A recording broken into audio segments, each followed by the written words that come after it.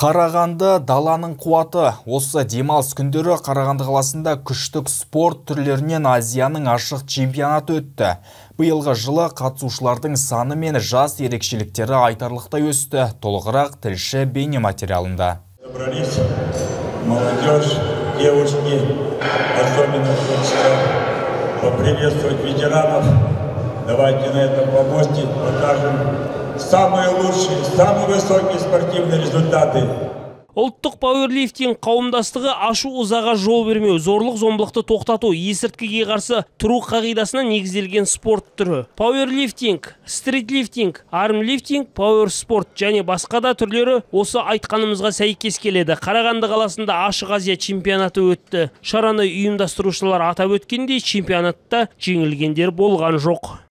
Городе Караганде проходит открытый Кубок Азии Федерации. Қарағанды қаласында Азияның ашық кубогы өткізілуде. Аталмыш іс-шара 2021 жылдан бері тұрақты түрде ұйымдастырылып келеді. Дүбірлі додаға қатысуға ниет танытқандар саны мыңнан асып жығылған. Шара екі күнге ұласады. Бұл жерге келген әр спортшы жеңімпаз ашық чемпионатқа еліміздің түкпір-түкпірінен сондай ақ ресей беларусь қырғызстан өзбекстан елінің мықты спортшылары келген. Аталмыш чемпионатқа қатысушылардың қатары артып жаңадан келгендердің де қосылуы көңіл қуантады дейді шараны ұйымдастырушылар. Биылғы жылы қатысушылардың ең жасы 13 жаста болса ең үлкені 77 жаста.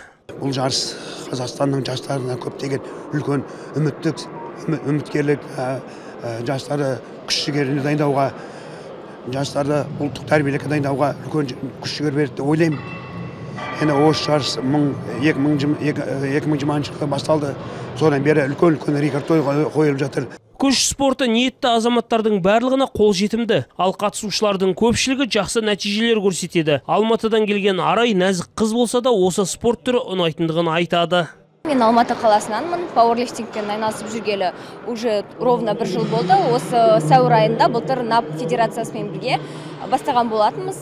Бұл спорттың түрін бастауыма себепші болған менің наставнигім және де тренерім.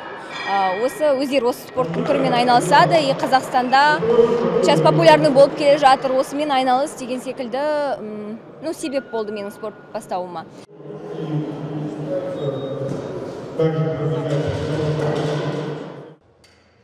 Жарылғап жағыпар мейіржан жұмамұратов николай шевелев бесінші арна.